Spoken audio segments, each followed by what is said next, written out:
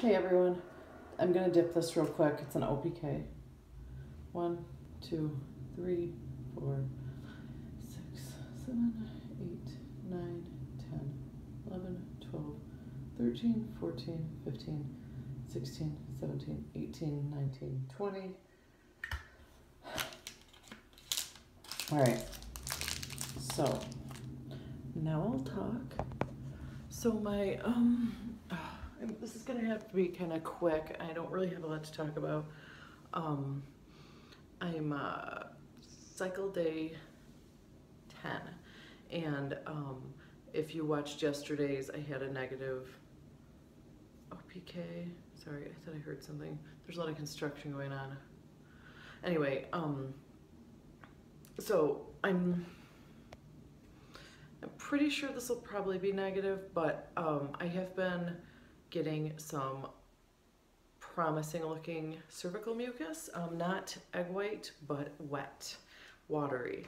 Um, that's always a good sign for me. Um, but I have been using the Robitussin, well, it's off brand, but whatever, and the grapefruit juice, with which are both supposed to help with that.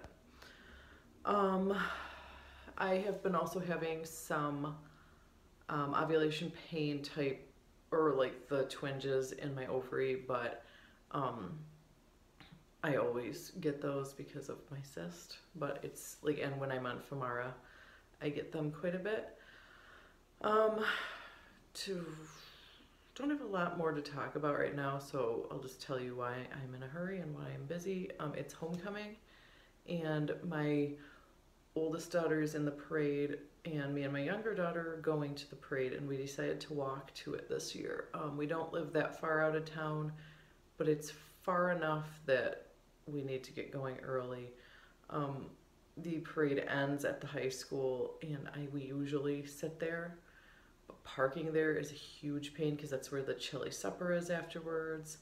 Um, now tomorrow is the homecoming dance and my older daughter is also going to that so we have a hair appointment at 10.30, no, makeup at 10.30 tomorrow morning and hair right after.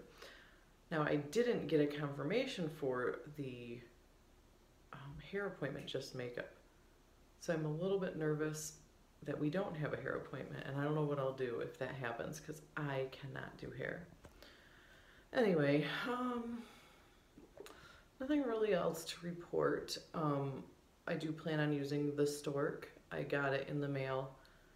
Um, I don't know if I mentioned that yesterday. I got it either yesterday or the day before in the mail. So I have that waiting.